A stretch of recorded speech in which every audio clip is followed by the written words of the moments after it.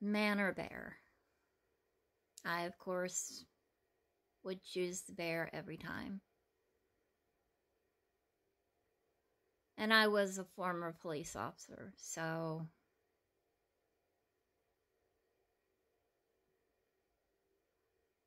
unless I have my gun on me, I would choose the bear every time, and even then, I would probably still choose the bear if I had my gun.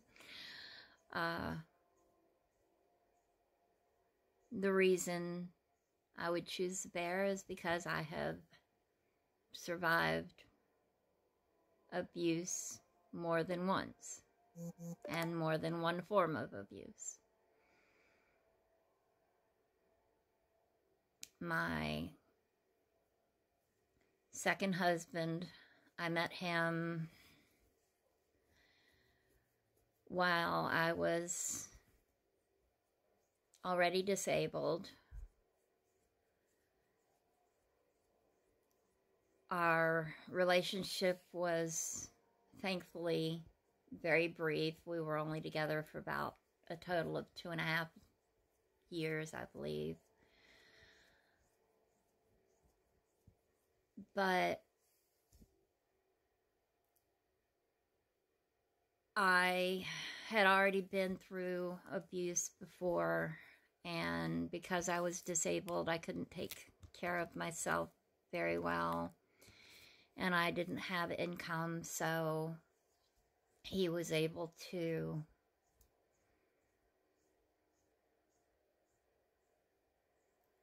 beat me down enough to where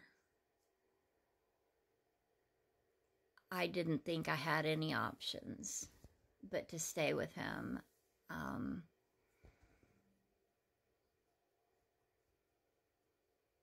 so I stayed. And I did my very best to protect my kids from his abuse. He was a mean drunk, which he got drunk quite often. Uh, what finally brought everything to a head was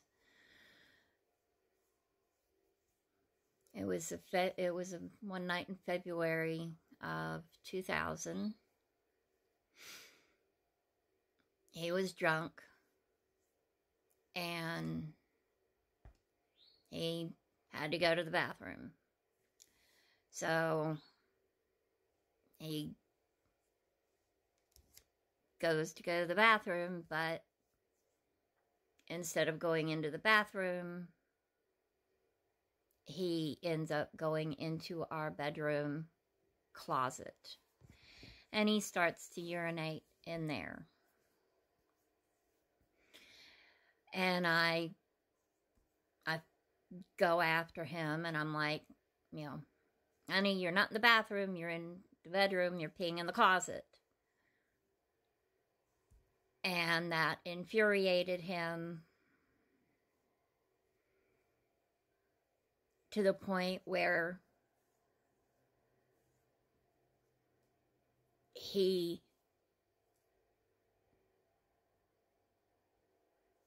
threw me down on the ground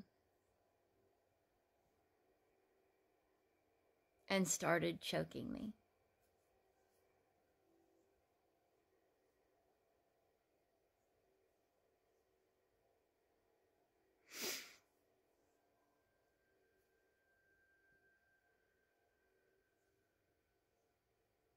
I was a former police officer for eight years.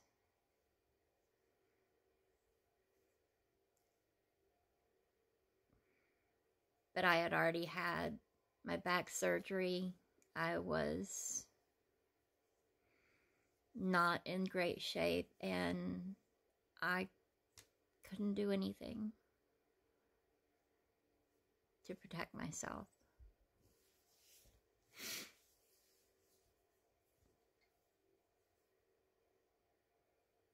and uh, he thankfully let go.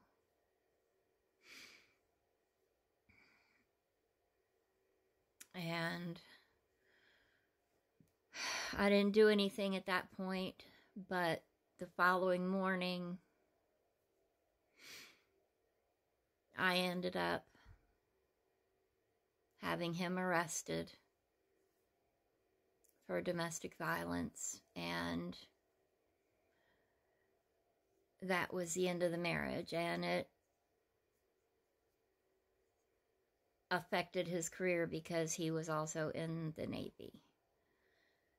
So I'm not sure what all of the consequences he faced on that. I know he did have to take anger management courses through the military. Um, but I'm not sure what else was done through the military on all that. I don't really care. Um, I saw him one time. Actually, I think I saw him twice after we separated, and that was to get our divorce proceedings done. And I've not spoken or seen him since the divorce was final, and I have no desire to ever see or hear from him. But because of that man, I cannot wear anything around my neck. I cannot wear any kind of turtlenecks. I cannot wear necklaces that are tight. I cannot have anybody touch my neck because it triggers me. So, yeah, I will happily go into the woods with a bear. Because the bear is not going to get drunk and throw me on the ground to choke me for telling him he's peeing in our closet and not the bathroom.